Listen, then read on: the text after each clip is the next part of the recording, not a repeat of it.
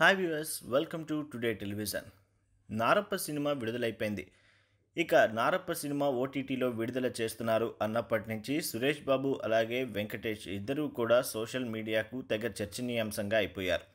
ఈ రెండు మూడు రోజుల్లో చూసుకుంటే సురేష్ బాబు వ్యాఖ్యలు చాలా హాట్గా హాట్ టాపిక్గా అయిపోయాయి. సినిమా ఇండస్ట్రీపై అలాగే ఇతర హీరోలు నిర్మాతలు ప్రభుత్వాలు తన కుటుంబ సభ్యులు సినిమా ఎలా ఇలా అన్ని విషయాలు కలిపి ఆయన మాట్లాడుతూ జరుగుతుంది. ఇప్పటికే ఓటీటీ రిలీజ్కు తప్పేంటి ఆయన అనడంతో కూడా ఆయన వ్యాఖ్యలు సినీ ఇండస్ట్రీలోను అలాగే రిపీట్ సినీ ఇండస్ట్రీలోను అలాగే నెట్టింట్లో కూడా పూర్తిగా వైరల్ అయిపోయాయి.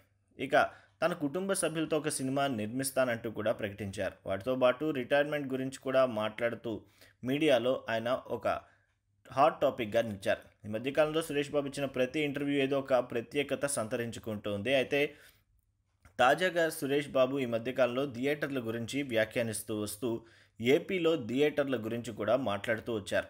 ఏపీలో ప్రభుత్వం థియేటర్ల విషయంలో చాలా కఠినంగా వ్యవహరిస్తున్నట్లు ఈ మధ్యకాలంలో మనం వార్తలు వింటున్నాం. ఈ వార్తలు సమర్థిస్తున్నట్లుగానే సురేష్ బాబు మాట్లాడిన మాటలు కూడా ఉన్నాయంటూ నెటిజన్స్ అయితే కామెంట్స్ చేస్తూ వస్తున్నారు. అయితే ఏపీలో మాత్రం నేను ప్రస్తుత టికెట్ల రేట్లతో థియేటర్లను నడిపించను అంటూ కూడా సురేష్ బాబు స్పష్టంగా చెప్పేశారు. ఏరియా ఎలాంటిదైనా సరే ప్రాంతం ఏదైనా ఓకే ఒకే తరహా టికెట్లు రేట్లు ఉన్నప్పుడు మాత్రమే సినిమాను విడుదల చేయగలగం అంటూ కూడా ఆయన అభిప్రాయాన్ని వ్యక్తం చేశారు. ఇక సురేష్ బాబు వ్యాఖ్యలు కూడా నెట్టింట్లో వైరల్ అవుతున్న నేపథ్యంలో ఇతర ఫిలిం మేకర్స్ పలువురు ఆయన పలు అభిప్రాయాలకు మద్దతుగా నిలుస్తున్నారు. సురేష్ బాబు మాట్లాడుతూ ఈ సమయంలో జనాలు థియేటర్లకు తీసుకురావాలని భావించడం చాలా వరకు రిస్కే అంటూ నా మటుకు నేనైతే థియేటర్కి వెళ్ళి చూడలేను అంటూ అలాగే నారప్ప సినిమాలో కూడా వర్క్ చేసిన చాలామంది టెక్నీషియన్స్ కూడా నలుగురు వరకు కోవిడ్ వల్ల మరణించిన నేపథ్యంలో ఈ సినిమాని థియేటర్లో రిలీజ్ చేయకుండా ఓటీటీలోనే రిలీజ్ చేయాలని భావించినట్లు కూడా ఈ మధ్య వచ్చిన కొన్ని ప్రెస్ మీట్లలో కూడా సురేష్ బాబు చెప్పడం జరిగింది. అలాగే తన బ్యానర్లో నిర్మిస్తున్న మొత్తం ఏడు సినిమాల్లో కేవలం ఒక్క సినిమా మాత్రమే తాను సొంతంగా నిర్మిస్తున్నట్లు కూడా ఆయన చెప్పారు. ఏదేమైనప్పటికీ ఈ మధ్య సురేష్ బాబు గారు మాట్లాడే మాటల్లో కూడా ఏదైనా కుండ బద్దలు కొట్టినట్టు ఉంది అంటూ కూడా నెట్టింట్లో వైరల్ అవుతున్న వీడియోలు అలాగే క్లిప్పింగ్స్ బట్టి మనకు అర్థమవుతుంది.